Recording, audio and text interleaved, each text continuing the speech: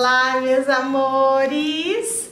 Eu sou Thaís Fernanda e esse é o TF Martins e no vídeo de hoje eu reuni várias diquinhas pra você que tem aquela máscara aí que não se deu com o seu cabelo. Todo mundo tem aquela máscara que comprou e não deu certo com o cabelo, né? Eu também tenho, infelizmente, vocês já sabem até qual é. E pensando nisso, eu trouxe várias ideias que vão te ajudar a dar uma vida útil aí para essa máscara que parece não ter jeito. Você vai aprender nesse vídeo que com apenas uma máscara que não deu muito certo com seu cabelo, você pode fazer um cronograma perfeito aliado a outras coisinhas que eu vou mostrar pra vocês. E a pergunta do vídeo de hoje é a seguinte, me conta aqui embaixo nos comentários qual foi o produtinho que você usou que não se deu com o seu cabelo, aquele produto que você se arrepende de ter comprado, sabe? Me conta aqui no comentário que eu quero muito saber, sua resposta é muito importante pra mim. Se você já se interessou pelo assunto do vídeo e é novo ou nova por aqui, Seja muito bem-vindo à nossa família TF Martins. Já se inscreve no canal aqui embaixo, ativa o sininho de notificações para você sempre ser avisada dos vídeos novos, porque aqui no canal tem os melhores conteúdos de cabelo para você. Então já se inscreve para não perder nada e vem comigo acompanhar essas dicas. A máscara que eu escolhi para estar tá potencializando nesse vídeo de hoje junto com vocês é a máscara de maracujá da Scala, que não se deu com o meu cabelo de jeito nenhum, gente. Já tem até resenha dela aqui no canal para vocês verem minhas considerações e tudo mais. Vai estar tá aqui embaixo para você conferir o motivo por que eu não gostei dessa máscara no meu cabelo. Então eu vou estar tá usando ela como base para mostrar para vocês as dicas e truques que você pode fazer com aquele produto que não se deu aí com o seu cabelo. Então para dar início às nossas dicas, a gente vai usar como base a primeira etapa do cronograma capilar, que é a hidratação. Nessa etapa é muito comum usar produtos à base de plantas e frutas também produtos que ajudam a reter a água no cabelo, tá? Porque a função da hidratação é justamente reter a água nos fios para manter os fios mais hidratados por mais tempo. E também para estar tá promovendo aquela emoliência nos fios que a gente adora, né? Então confere aí agora quais são as formas que você vai conseguir potencializar aquela máscara que não deu muito certo para montar uma etapa de hidratação perfeita para o seu cabelo. A primeira opção é você misturar o creme com a babosa. A primeira opção é você misturar o creme com a babosa. A gente sabe que a babosa é maravilhosa para o cabelo, além de manter os fios super hidratados, ainda ajuda a dar aquela emoliência, ajuda a tratar cabelo ressecado e ainda estimula o crescimento capilar. Então, meu amor, se você tiver babosa, pega aquela máscara que não se deu com o seu cabelo e mistura com a babosa que você vai ver o milagre. A próxima misturinha que você pode fazer é usando o creme e a glicerina. Vocês sabem que eu sou fã da glicerina, a glicerina é maravilhosa para o cabelo, ela ajuda muito a tratar cabelo ressecado e a manter o cabelo hidratado de dentro para fora.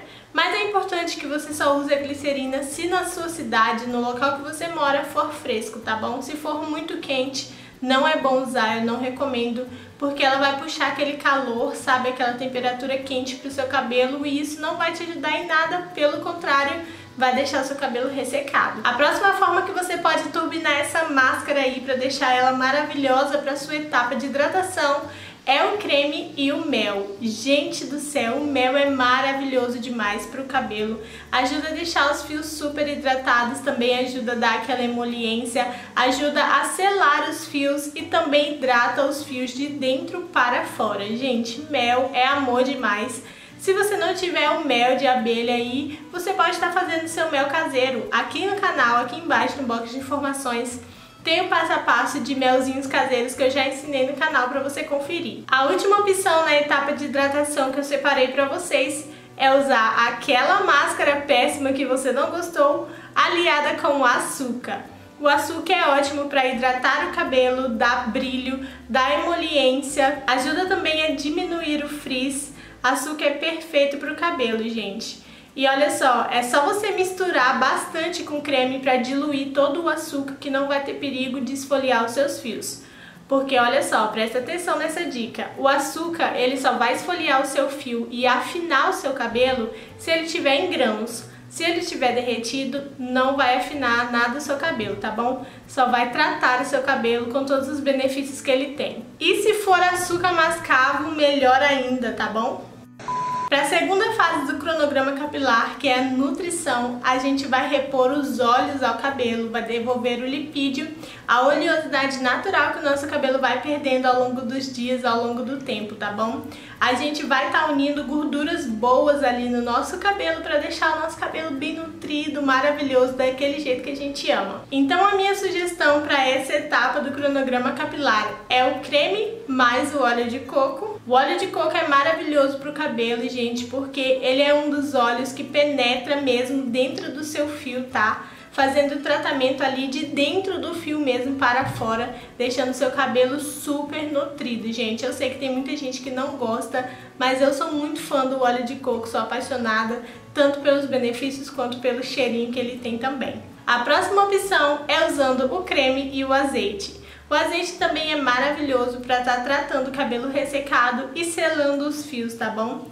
deixa o cabelo super nutrido e com aquele brilho que a gente adora. A próxima misturinha é uma misturinha de nutrição que eu mais amo, gente, vocês sabem, já mostrei várias vezes aqui no canal. E eu tô falando da misturinha de creme com creme de leite. Essa mistura é perfeita para tratar cabelo ressecado, cabelo poroso, cabelo espigado, tá? Então essa misturinha é ótima para estar deixando seu cabelo super nutrido. E a última opção que eu trouxe para vocês na etapa de nutrição é usando o creme e o leite de coco. O leite de coco é super rico em gorduras boas que vão tratar o seu cabelo, aliviando aí os efeitos do ressecamento, também selando os fios e tratando as pontas ressecadas e ásperas. Para a última etapa do cronograma capilar, que é a reconstrução, a gente vai pegar essa máscara que não se deu com o nosso cabelo e vai fazer um milagre aí com ela, porque a gente vai misturar ingredientes maravilhosos que eu vou te mostrar agora. A reconstrução é uma etapa maravilhosa do cronograma capilar que tem que ser feita com cuidado. Ela repõe a massa aos fios, repõe a queratina aos fios, sabe? A queratina é muito importante para estar tá mantendo o nosso cabelo saudável, nosso cabelo tratado e crescendo maravilhosamente bem. Mas atenção, para quem não sabe, a reconstrução ela pode ser feita no máximo de 15 em 15 dias se você tiver o cabelo danificado. Mas se você tiver o cabelo saudável, o recomendável é que você faça reconstrução apenas uma vez por mês, tá bom? Porque a reconstrução em excesso, ela vai acabar partindo o seu fio, partindo o seu cabelo, e isso ninguém quer, né, gente? Então, atenção a essa etapa. Ela tem que ser feita assim, mas tem que ser feita com cuidado do jeito que eu falei pra vocês. E a minha sugestão pra essa etapa é a seguinte, confere aí. Você vai pegar aquele creme que não se deu muito bem com você e a gelatina incolor. A gelatina incolor, ela é um ótimo componente reconstrutor pro fio. Ela contém bastante colágeno também, o que ajuda aí a estar tá mantendo seu cabelo saudável, a estar tá rejuvenescendo o seu fio e também ajuda muito a estar tá devolvendo a massa aos cabelos. A segunda forma e é a mais comum, a que todo mundo mundo conhece é usando o creme e a queratina. A queratina é o componente perfeito e ideal para essa etapa da reconstrução, porque, né, como eu falei para vocês, a reconstrução ela repõe a massa e a queratina aos fios. Então, por que não tá usando a queratina aí no seu cabelo, meu amor? Você vai pegar, vai misturar esses dois e vai fazer um tratamento maravilhoso no seu cabelo você vai ver que o resultado vai ser incrível. A última opção que eu tenho para você na etapa de reconstrução é usando o creme e o ovo. O ovo também é um ótimo componente reconstrutor.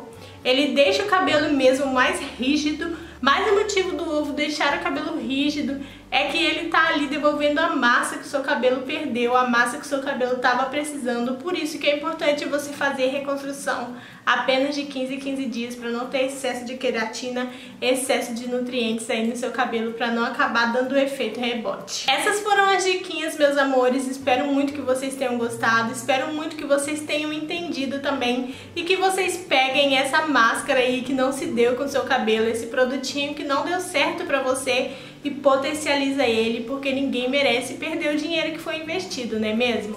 Mesmo que seja um produto barato, como foi o meu caso, que é o produto da Scala, é dinheiro, né, gente? Dinheiro a gente não acha no lixo. Então a gente tem que reutilizar tudo aquilo que a gente tem para não perder o nosso dinheirinho tão suado. Se você gostou, me conta aqui embaixo nos comentários que eu quero muito saber a sua opinião. Deixa o like pra mim. E olha só, me segue lá no Instagram, eu sou arroba tfmartins com dois S no final, vai estar tá passando aqui na tela pra vocês. E por lá eu tô sempre postando conteúdo diferenciado que eu não posto aqui no canal, tá? Então corre me seguir lá no Instagram que eu tô te esperando. E olha só, aqui do lado tem uma playlist que só tem dicas de cabelo pra você. Tem dica de receitinha, dica para crescimento, dica de finalização de penteado e muito mais. Então clica aqui nessa playlist para você conferir todos os vídeos que eu separei para vocês. Um super beijo, até o próximo vídeo e tchau!